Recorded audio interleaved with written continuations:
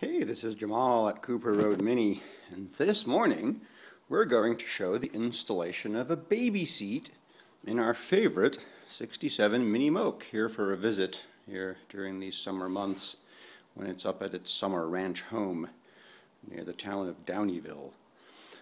Oh, who are we kidding about the baby seat? As if that provides a measure of extra safety in this rail what we're doing, actually, we're rotating the tires, uh, are extremely powerful 1345, and uh, my friend that owns it, being a pretty aggressive driver, we've, uh, in a few months, really made an impact on the Yokohama A008s here.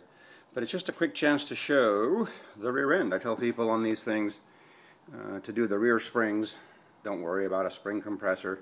You jack the car up and the spring is loose. This one here I installed a Hi-Lo uh, setup, but you can still see that you can easily rotate the spring. It's fully unloaded. Of course, our Hi-Lo is locked to a position here with this jam nut setting the ride height. But I set this up to where the height, just about when it's jacked up, the length of the shock, somewhat uh, loosens up the spring, but doesn't let it sag down or risk any parts falling out. Um, I also tell people these are fairly easy to work on if you do want to change the spring or service the joint knuckle up in here where this other little stud goes.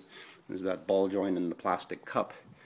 Um, but you know, on a lot of minis, if you have a Cooper S like this one, you can't get to the upper mount of the shock in the rear. Now this Moke couldn't be easier. Of course, that's one of the big advantages of the Mokes. There's really no interior to worry about, doors, windows, things like that.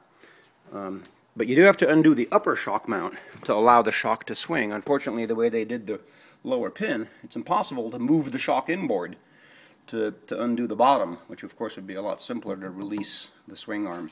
I also tell people when you do release this, be careful. This brake hose becomes the limit of travel downward, um, and you want to make sure that you don't flex that too much. It looks like this one. Yeah, that's just the writing on it but we'll keep an eye on these. Uh, I might switch them to the braided stainless type. Well, there's a quick look at our Moke in for some basic maintenance and to visit with its cousin. And uh, we'll have it ready here for our friends to take back up to the ranch in a week or two. All right, on to work.